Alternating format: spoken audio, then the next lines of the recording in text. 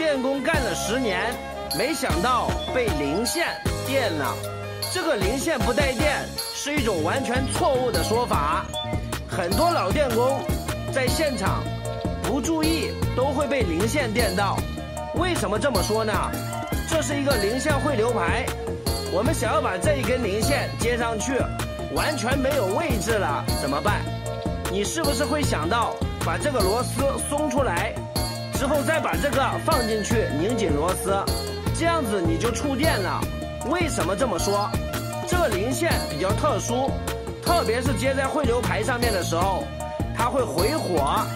这个螺丝你可以松一点，但是不能把它给去掉。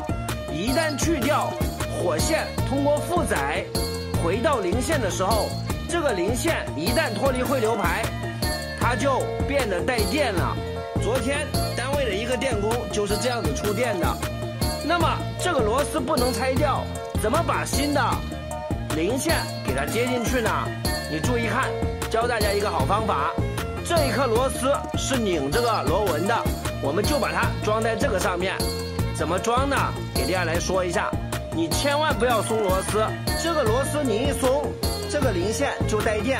怎么做呢？很简单，这个位置找一个垫片，下面这个螺母你千万不要松啊，找一个垫片，之后把这个零线给它放在这个上面，再找一个垫片，找完之后你多找一个螺母，直接把它拧到这个螺杆上面，下面的不要动，千万不要动。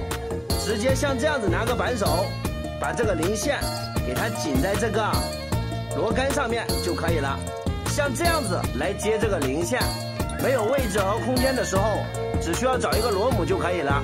你千万不要拆零线，不然就会触电了。专业电工称之为回火，零线变火线，非常危险。分享给你，我们下期再见。